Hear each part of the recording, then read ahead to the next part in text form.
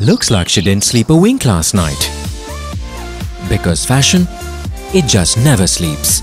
So catch the Metro Shoes online night market on 23rd and 24th from 10 pm to 10 am.